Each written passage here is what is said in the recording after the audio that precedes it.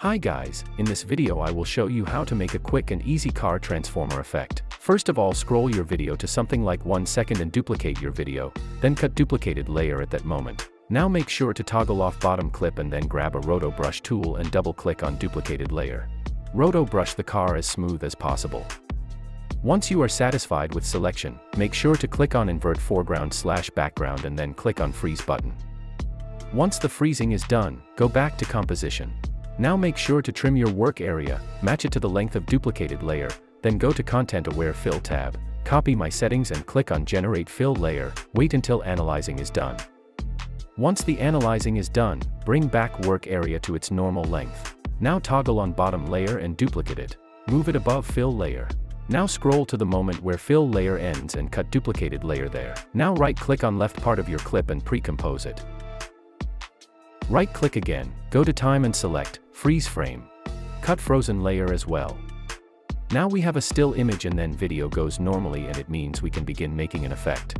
We should now mask out all car parts now, in my case I will begin with this Skylines bumper. Select frozen layer and rename it to bumper.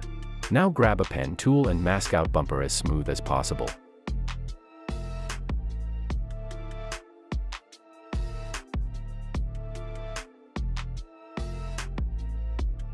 Once you are satisfied with the mask, duplicated bumper layer, then press M on your keyboard and delete mask on it.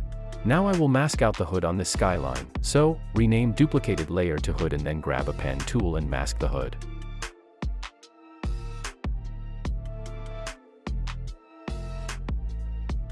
Once you have masked the hood too, duplicate it, press M and delete the mask on duplicated layer.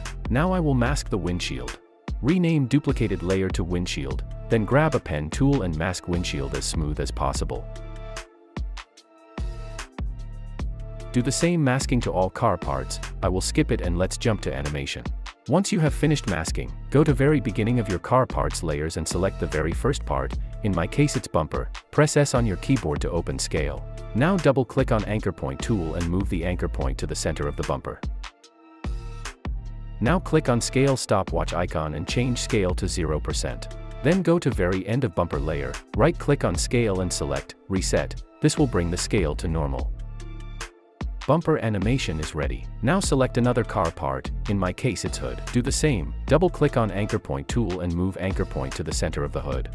Then click on scale stopwatch icon and set the scale to 0%. Then go to very end of hood layer and reset the scale.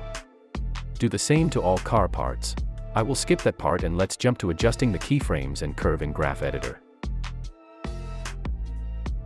Once you have finished with animation, select all car parts layers and press U on your keyboard to open keyframes. Then select all scale keyframes and press F9 on your keyboard to easy ease them.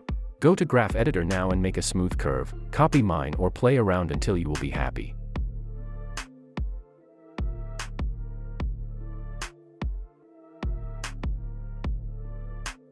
Enable motion blur on all car parts layers. Lastly we can add shake effect, I will skip that part cause I have already made a shake tutorials. Also I have created 16 unique shake presets that you can get from the link in description. Check how it looks like with my shake preset.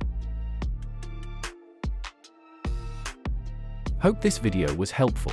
Thanks for watching and like the video please.